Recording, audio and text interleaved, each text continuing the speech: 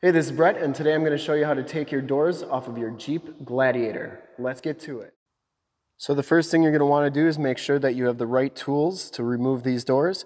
Thankfully, Jeep gives you a little toolkit. Now, if you don't have this toolkit, um, you're going to need a Torx 50 and a Torx 40. I can turn my light on to show you those there. So a T50 and a T40. Those are the two you're going to need to remove these doors. And then of course your ratchet right there.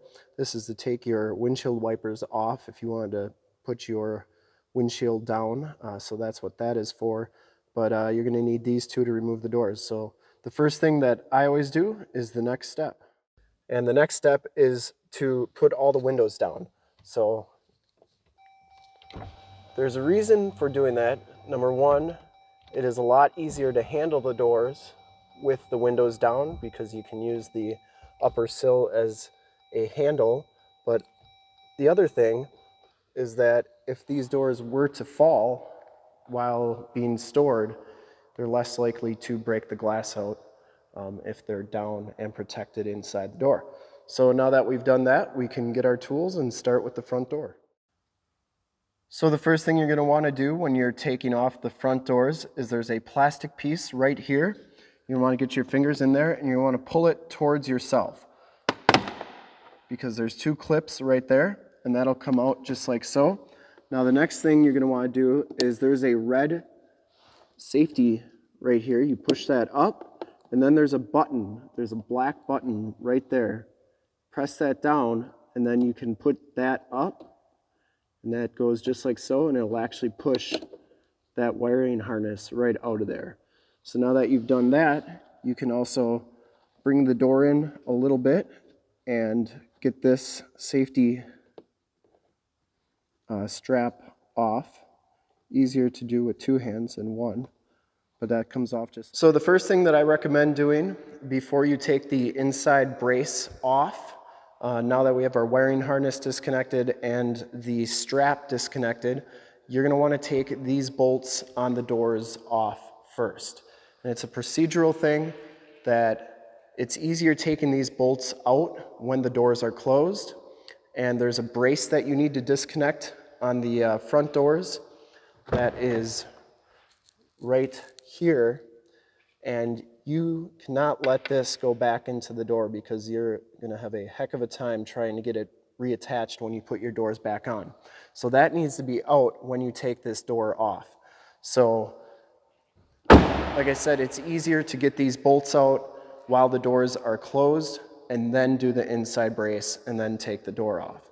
So you're gonna want your Torx 50 for this and you're just gonna start loosening them up. Be careful you don't hit the paint, you don't dent the vehicle because you want your Gladiator to look good for the rest of its life. I'll get these out and then we'll go to the next step. All right, so just grab your Torx 40, get it in there, and that comes out real nice and easy. Kind of hard to do with videoing and doing this with one hand, so please bear with me. Maybe I'll speed up this part of the video. Now it's very important that this piece right here stays out. Otherwise, you will have a hard time getting that to go on the door uh, when you put your doors back on at a later time. So at this point, do not close your door. It is ready to come off and it needs to come off um, open. This piece needs to be out, otherwise you're gonna have a hard time getting it back in. So I'm going to figure out a way to video myself taking this off. So here we go. All right, so now it's time to take your door off. Remember, do not close this door. Uh, the best way to do it on the front door is kind of using the mirror um, and you can use the handle on the inside of the door uh, to lift it up and you're just going to want to lift it kind of straight up and you see hook come out just like so. Now you're going to want to find a place to set this. Um, I've got a piece of wood set up against the wall over here and I'll show you once I get that in place. So you can see I got just a piece of wood on the floor so it doesn't get onto your concrete or in this case tile, and chip your paint. Um, I find 2x4s work really well. Then just lean it up against the wall. Remember, having the window out makes it easier, or window down makes it easier to lift and transport and um, all that good stuff. Just be very careful when you put the door back on that this piece does not get pushed in because it is very hard to get out and it's very hard to um, attach, reattach when you're putting the doors back on. All right, now it's time for the back door. What you're gonna wanna do is you're gonna wanna move this front seat all the way up and I'll show you why in just a second here. As we go in here, you're gonna have to get this door off as well, um, this strap. So you just kind of pull, it's got two um, quick disconnects down there. And then this is not as elaborate as the front one. It's just a little tab right there. You push that. So you push this tab in, pull down, and then you can uh, get that off. You can also get your strap off right there. It's considerably easier than the front door. And then you're going to want to get your Torx um, 40 here. Make sure that you do those bolts on the outside before you do the back one. And I'm going to do all that. And uh, then we'll take that back door off too. All right, now remember, keep this door open. Take your Torx 40 and get this one out of there. Once again, this one is considerably easier to get out than the front door. So I don't know if that's by design or why that is.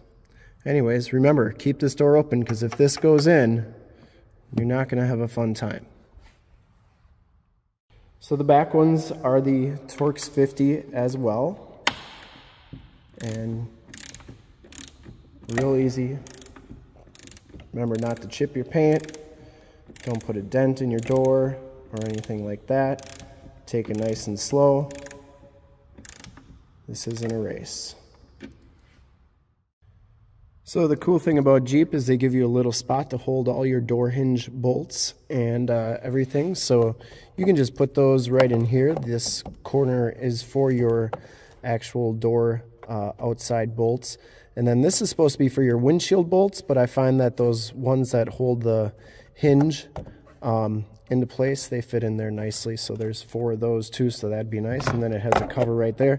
That way you don't lose any of your bolts and they're all in a nice safe spot. So now that we got everything disconnected down there, we got the hinge disconnected, you can just lift this door off as well. And uh, once again, using the handle, you don't want to lift kind of towards, you don't want to lift kind of towards the bottom of the door and on this side so it comes up nice and straight.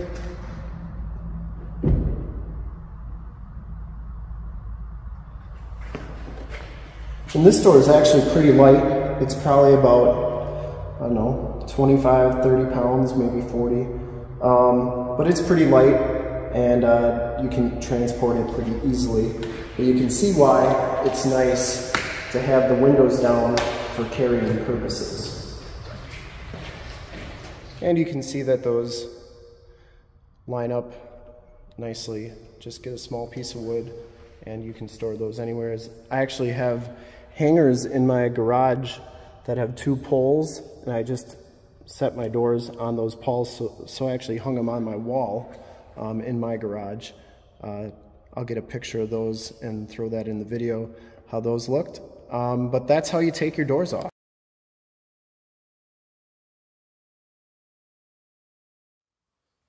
So this is what it looks like when you have the doors off. Um, I hope you enjoyed the video. I hope it was informational. And remember to like, subscribe, and share on my YouTube channel. In fact, in a second, you'll see a link to subscribe to my YouTube channel in the upper left, a link to how to get your hard top off of your Gladiator in the upper right, a link to how to get your Wrangler hard top off in the lower left, and a link to me putting the doors back on this vehicle in the lower right if you want to watch that uh, just to make sure that you're putting them on right. Um, thanks for checking out the video. Remember to like, subscribe, and share, and I really appreciate you checking out my video.